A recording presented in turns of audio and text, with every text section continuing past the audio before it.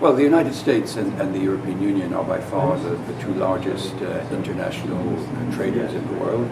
Uh, between us, we constitute uh, about 40% of world GDP and nearly 50% of world trade. I think we're both very committed to the multilateral system, to the, the good functioning of the WTO, but we have to admit uh, in recent years there have been problems getting uh, a major multilateral deal uh, at in Geneva and therefore uh, the United States uh, has begun uh, a series of negotiations bilaterally, particularly with the Pacific partners, culminating in the agreement now here on the Trans-Pacific Partnership. The European Union is negotiating extensively also in that region with Japan, with India, uh, with uh, um, Singapore, uh, Thailand, and opening negotiations with the Philippines and Indonesia, and shortly Australia and New Zealand, and we're also upgrading our existing uh, free trade agreements with uh, Chile, with Mexico, uh, and we're negotiating with Mercosur, and we've just concluded and will ratify uh, in the next few months a very comprehensive agreement with Canada. So both of us have very extensive trade agendas, uh, but it would make sense if we completed that by a very ambitious agreement between ourselves.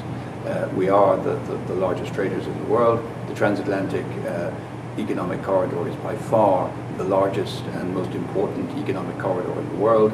We're both heavily invested in each other. Uh, United States uh, companies make more money out of their investments in Ireland than they do out of their investments in China. Uh, and uh, equally, uh, the European Union companies are heavily invested in America and we, this cross investment creates uh, around 15 million jobs on both sides of the Atlantic. So we are already heavily invested. It makes sense that if we could eliminate tariffs, if we could considerably reduce uh, technical barriers to trade, if we could increase regulatory cooperation, uh, both sides would stand to gain enormously from, from such a deal.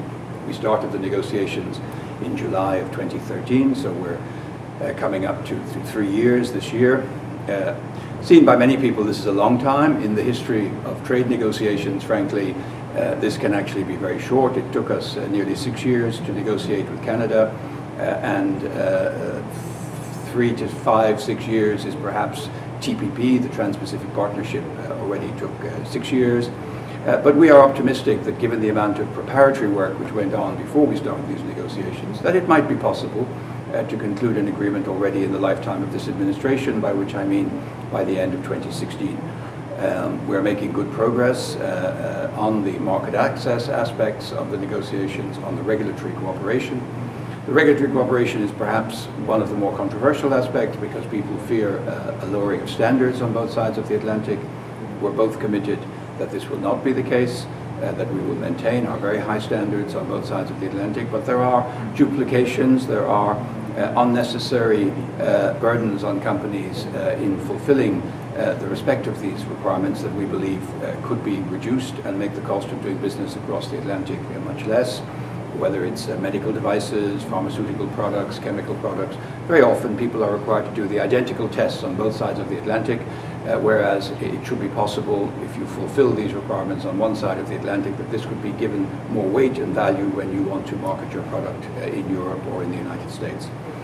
Another area, of course, of controversy uh, has been uh, in the investment chapter, the investor-state dispute settlement, which is an arbitration system for settling disagreements between foreign investors uh, and host countries. Uh, this has become particularly controversial in Europe, but I think even in the United States.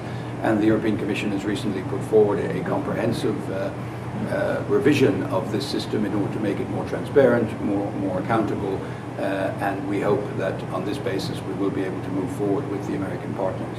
There are, of course, difficult areas on both sides. Uh, and we are not yet there. Uh, we will continue to work uh, into the summer where we hope to sort of reach the end of what we call the mid-game and hopefully we can move into the end game negotiation in the second half of this year. It's no guarantee that we will find an agreement, but uh, we're both working very much in that direction. And finally, I'd just like to say that this is one of the most transparent negotiations we've ever had. The European Commission puts all of its papers and proposals uh, on the web. Uh, everyone can consult uh, all of the documents. Uh, and we are, of course, uh, under uh, strict supervision of the uh, member states in the Council of Ministers and the European Parliament, both of whom will have to approve any deal, just as any deal uh, would have to be approved by the US Congress.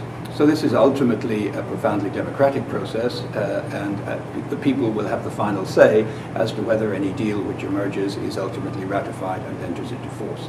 So I think this is a deal which has much to offer both sides economically, and we should not forget, of course, the geopolitical context uh, at a time of uh, great uh, upheaval in the international world order. The conclusion of an ambitious trade deal between the United States and the European Union would reinforce our joint commitment uh, to common standards, uh, high values, whether democracy, human rights, and defense of the liberal world order, which is under threat these days from many different sources. So this is a deal which has much to commend it, and I'm confi confident that uh, when we reach the end of these negotiations, people will see that this is actually uh, a very positive step forward.